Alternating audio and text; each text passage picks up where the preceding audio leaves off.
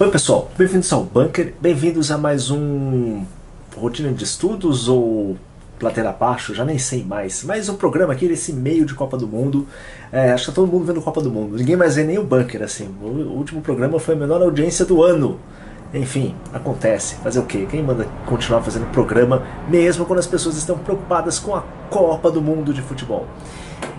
Belíssima Copa, por sinal. O Johnny Roncone, aproveitem a Copa para xingar argentino. Pois é, xinguei argentino pra caramba hoje aí. Hoje, quarta-feira, 30 de novembro, são 6 e 10 da tarde e a Polônia fez um jogo horroroso com a Argentina. A Argentina passou. Malditos, malditos. É, vamos ver quem mais tem comentado aqui. É, o Vitor pergunta se teremos live de fim de ano com o Fábio e o Martim. Não sei ainda, não sei, a rotina do pessoal aí tá meio puxada, eu acho.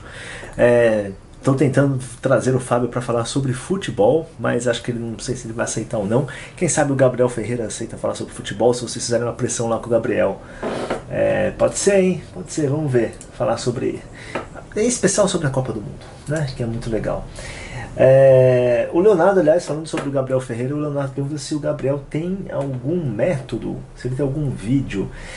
É, Leonardo, o Gabriel ele fez um curso esse ano que era sobre é, filosofia, um curso sobre filosofia que ele divulgou no Twitter dele, divulgou no Instagram e tal. Eu fiz, inclusive, que é muito, foi excepcional, assim, excelente mas eu acho que esse vídeo não está disponível. Esse curso não sei se está disponível ou não. Teria que perguntar para o Gabriel diretamente lá no Twitter dele ou no Instagram. É, mas tem aqui é, uns dois programas que eu fiz, eu, o Gabriel, Francisco Ratso, em que a gente fez uma leitura ali sobre o Aristóteles, que eu acho que dá para intuir muito bem como que o Gabriel pensa um texto filosófico, como que ele se estuda mesmo é, filosofia, como que ele lê filosofia. E acho que vale a pena dar uma olhada nesses dois programas que estão aí, tá? E quem sabe eu consigo trazer ele aí um dia para a gente poder conversar mais sobre essas coisas de estudos, filosofia, coisas assim, coisas afins, desculpa. É, aliás, tem um outro programa que eu fiz com o Gabriel também chamado Conservadorismo 2.0, que é muito bom, a gente discute o conservadorismo, Michael Oakeshott, tudo também está aqui. Acho que vale a pena dar uma procurada para também é, ver como o Gabriel enriquece o debate. E aí o Rodrigo Rodrigues pergunta se eu fiz faculdade de quê? Rodrigo, não, eu sou um ignorante, eu não fiz faculdade, eu fui burro, eu desperdicei é, minha vida fazendo outras coisas, trabalhando, foi uma delas. E terminei que eu não fiz faculdade, é uma coisa que, da qual eu me envergonho profundamente. É, de verdade, eu me sinto meio mal com isso. Não recomendo a ninguém não fazer faculdade, recomendo a todo mundo que faça faculdade. Meu destino, meu caminho foi sendo outro, mas é deprimente fazer isso. É deprimente ser um autodidata. É, essa é a grande verdade. Enfim, pessoal. Não teve muita pergunta essa semana. O último programa não teve muita audiência, vocês também não fizeram muita pergunta. Então ficou um programa assim meio curto, meio pequeno. Pô, façam mais perguntas aí, por favor. Mas eu queria comentar ao menos duas coisas. Primeiro, assim, é, notar como nossa elite cultural, intelectual anda patética, né? anda ruim. Você vê, teve aquele momento na Copa do Mundo, na estreia do Brasil, o Neymar se machucou e um monte de dessa turminha aí de os como que fala, né? Esse pessoal jornalista, crítico cultural, político, comentarista esportivo, tudo meio que celebrando o machucado do Neymar, a contusão do Neymar, dizendo que ele ia estar fora, tal, não sei o que. Isso muitas pessoazinhos verificados do Twitter fazendo isso, principalmente, né?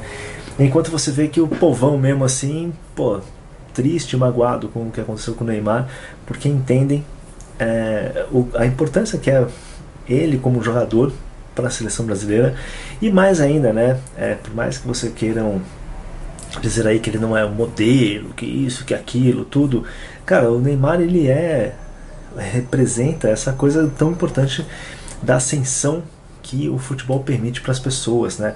Daquilo que das pessoas de, realmente que vivem muito na periferia, que são mais pobres, tudo, que estava até conversando com o Junior Staff, grande amigo Junior Staff, que a gente estava brincando sobre o MEBEP, né, o jogador francês, e aí eu falei, pô, craque e tal, não sei o que, ele falou, pô, isso aí tem 10 em cada esquina. Eu falei, pois é, por isso que o Brasil é ainda o país do futebol.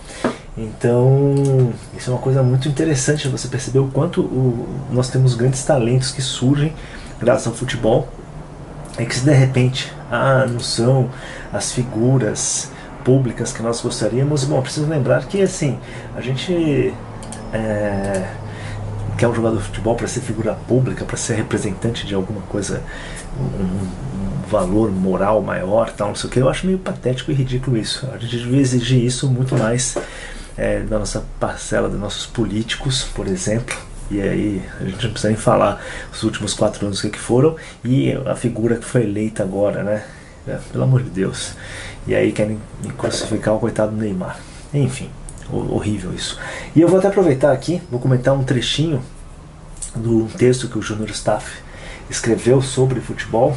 É, que está no Instagram. Se você entrar no Instagram do Júnior, tá lá, é legal. Eu vou comentar porque é bonito isso que ele escreveu. Vivemos em um país pobre, onde a classe média é pobre e o pobre é mais pobre ainda.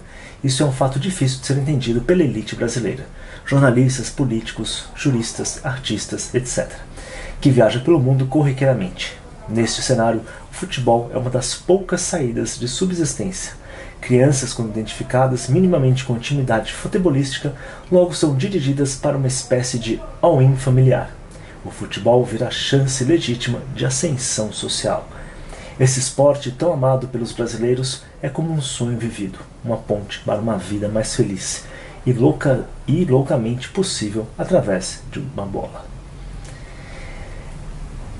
Diante disso, uma coisa tem que ser entendida. A nossa seleção é formada por pessoas sonhadoras, batalhadoras, que sempre suplicaram por uma oportunidade neste país desesperançoso. Por isso, eu acredito com muita convicção que esse grupo de 2022 é muito fechado, independente de opiniões políticas e de visão de mundo. Porque eles se reconhecem na face do companheiro ao lado na mesa de jantar na concentração. Se você atacou um, você atacou a todos. Reparem nas entrevistas e comemorações dos jogadores, sempre tem uma mensagem direta ou cifrada de lealdade e união. Desse modo, jornalistas encastelados em suas redações ou home offices, escrevendo matérias para envenenar a população contra os legítimos representantes do espírito nacional, nunca prevalecerão.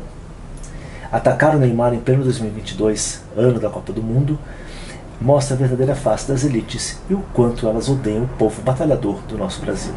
A Copa, assim como praticar e apreciar o futebol, é o nosso respiro da alma.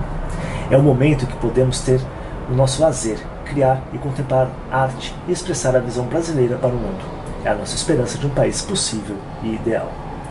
Isso nunca pode ser roubado de nós. O futebol espelha infinitamente mais as raízes culturais de quem nós somos do que, do que qualquer influenciador abestado que bebe uma cervejinha na Vila Mariana ou no Leblon ou na Vila Madalena, ou no Alto Pinheiros, ou em qualquer outro lugar desses.